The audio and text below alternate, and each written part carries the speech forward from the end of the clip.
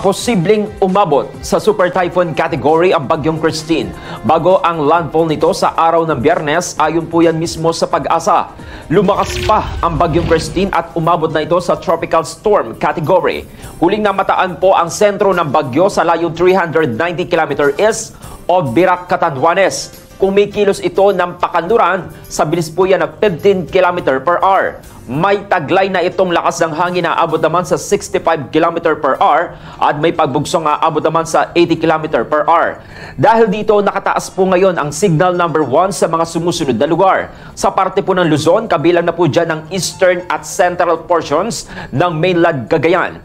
Isabela, Quirino, southern portion ng Nueva Vizcaya, Aurora, the eastern portion of Rizal, eastern portion ng Laguna, northern at eastern portions ng Quezon.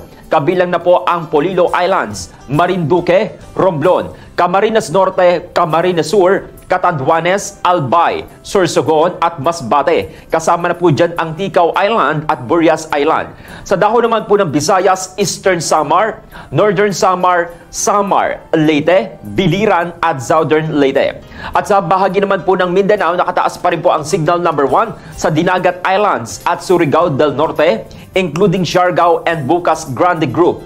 Ayon po sa pag-asa, mararanasan po ang makakapal at matataas na ulap sa malaking bahagi po ng Luzon, Visayas at hilang, hilagang bahagi ng Mindanao na magdudulot po yan ng mga matitinding mga pag-ulan.